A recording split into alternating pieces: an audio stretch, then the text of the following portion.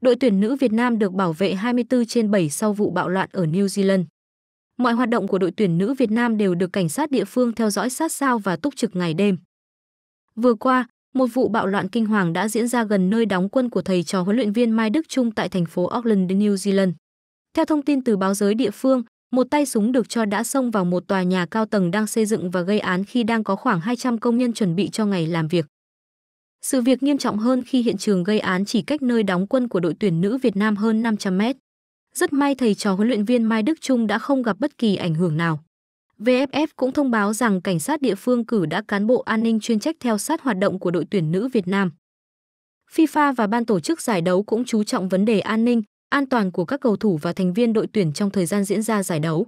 Một cán bộ an ninh chuyên trách từ cơ quan cảnh sát địa phương được bố trí theo sát các hoạt động của đội tuyển, kết hợp cùng các nhân viên an ninh túc trực 24 trên 7 tại các địa điểm như khách sạn, sân tập. Sau vụ xả súng, công tác an ninh sẽ được thắt chặt hơn nữa.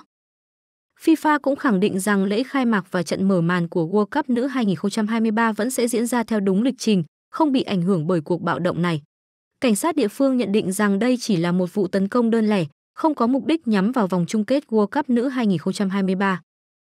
Hiện tại, đội tuyển nữ Việt Nam cũng đang chuẩn bị những công tác cuối cùng cho trận gia quân vào ngày 22 tháng 7 gặp đương kim vô địch Mỹ. Để đảm bảo các yêu cầu về hình ảnh và chất lượng các trận đấu, tối ngày 19 tháng 7, đoàn cán bộ của FIFA đã có buổi kiểm tra các thiết bị, trang phục sử dụng trong trận đấu. Đoàn kiểm tra đánh giá cao sự chuẩn bị rất kỹ của đội tuyển nữ Việt Nam, tạo điều kiện cho công việc kiểm tra diễn ra nhanh chóng và thuận lợi. Kết quả, toàn bộ các trang thiết bị và thông tin của đội tuyển nữ Việt Nam đáp ứng các quy định của FIFA để có thể sẵn sàng cho vòng bảng vòng chung kết World Cup nữ 2023.